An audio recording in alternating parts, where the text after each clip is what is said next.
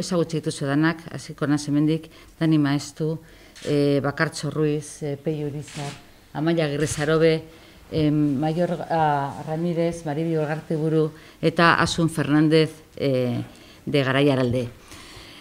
E, egin nahi dugu sarrera txiki bat, nola, nolako valorazioa egiten dugun oraingo egoeraz, eta gero iragarri nahi dugu Euskal Herria Bilduk egin nahi duen ekitaldi bat urriaren amairuan. Baina az gaitezen egoeraren deskribapenarekin. Krisialdi ekonomiko eta sistematiko sakonean gaude barnendaturik. Eta naiz eta herritarrek erantzukizunik ez izan krisialdi honetan, hiritarrak dira pairatu, pairatzen dutenak krisialdia. Agerian utzi ditu honako gauza hauek. Batetik, Espainiar estatuan indarrean dauden eremu ekonomiko eta lurralde instituzio ereduak porrot egin duela. Herria emergentziasko egoeran kokatu dute. Une garrantzitsuak ditugu eta arriskuak badaude ere, aukerak ere badaude eta hoiek ikusi behar ditugu. Espainiar estatuan porrota eragin dute, eragin dute erantzule politiko eta ekonomikoek eragina dute baita ere herri honetan. Eta eredu hoiek aukera daukagu e, eskaintzen zaizkigun irten bidei e, aurre egiteko. Berriz esan behar dugu ondorengo belaunaldiak ezin direla pobreziara kondenatu hain zuzen ere sortu den krisialdi egoera e, horretatik. Baina krisialdiak baditu aldaketa garaiak e, sortzeko aukerak eta berriz abiatzeko abaguneak. Krisia ulertu behar dugu aukera dela aldaketarako. Eta aukera hori aprobetsatu beharra daukagu, gizarte azke eta justuagoa eraikitzeko. Euskal Herrian gainera aukera bikoitza dugu, ate bikoitza dugu. Irekin nahi dugun aldaketa eta konponbiderako. Batetik, konponbide sozial eta ekonomikorako atea. Eta bestetik, normalizazio sozial eta politikorako atea. Hau da, bakegintzarako aukera. Ezberdinen arteko elkarbizitza proposatzen dugu. Gizarte justuagoa, eta askeagoa baita gure helburua. Buru jabetza ekonomikoa eta politikoa da helburua. Etorkizuna bermatzeko tresna da eta. Baina, baina buru jabetza zertarako. Herri bezala, kolektibo bezala, gure eskubidea delako. Aurrera egin ahal izateko herri egiten gaituzten zutoinak eutzi ahal izateko hizkuntza, kultura, idiosinkrasia. Baina eraberean, eredu ekonomiko aurrerakoia, bidegarria, bideragarria eta solidarioa garatzeko. Europako gainerako herriekin batera buruz buru egoteko. Nuestro país tiene la necesidad acuciante de construir un marco soberano que nos permita dotarnos de los instrumentos necesarios para abordar nuestras propias políticas económicas, sociales y laborales. Solo desde la soberanía podremos orientar nuestras políticas hacia una verdadera justicia social. Partido Popularra eta Partido Socialista alderdiak e, beldurraren estrategias baliatu dira, esaten baitute independentziaren porrot ekonomikoa datorrela, independentziarekin, eta negoziorik txarrena dala independentzia. Eta hori da jakin gabe hitzigitea. Hain zuzen ere alderantziz delako.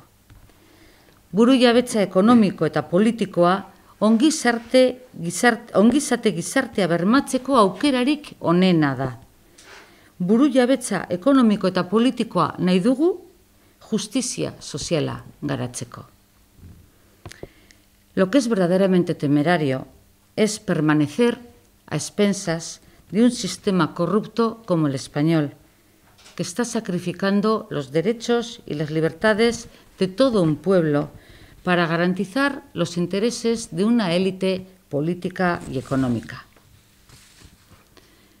Burujabetza ekonomikoa eta politikoa eskuratu nahi dugunok, oinarri baten gainean eraiki nahi dugu gure proiektua.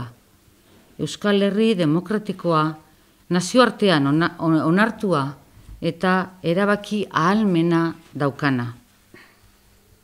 Eta hause ozen eta argi esan nahi dugu. Euskal Herriaren ordua heldu da. Arriskoak dituen unea da, bai, baina eraberean aukeraz beteriko unea bizi dugu. Herri honetan gehiengo politikoak eta sozialak osatzen eta artikulatzen ari dira.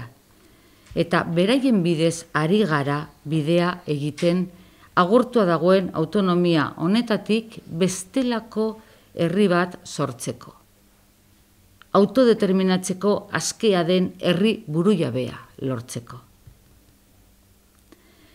Honen adibide ugari ikusten ari gara eta azkena da esate baterako astazkenean eunka milaka lagun kalera atera zirela greba orokorraren kasuan esate baterako.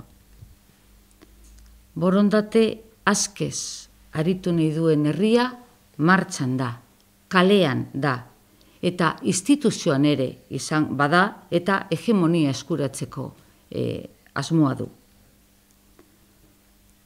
Herri bezala, autodeterminazio eskubidea aldarrikatzeaz gain, praktikara eraman nahi dugu eta eramango dugu Euskal Herriko eragile politiko, sozial, sindikal eta herritar ororekin elkarlanean. Urriaren hogeta batean, norabide honetan urratz berri bat egiteko aukera izango dugu gehiengo politiko, sindikal eta sozial honek iniziatiba hartu du. Agenda politikoa betetzen ari da gai nagusi batekin eta berriz diot. Euskal Herriaren ordua iritsi da. Gure eskubideak berreskuratzeko ordua, independentziaren bidean aurrera egiteko ordua eta menpekotasunak gainditzeko ordua. Honekin guztiarekin, Euskal Herria Bildu koalizioak ekitaldi nazional eta erraldoia egingo du datorren urriaren amairuan barakaldoko beken. Euskal Herri osoko herritarren bilgune zabal eta anitza bilakatuko da egun horretan bekeko aretoan.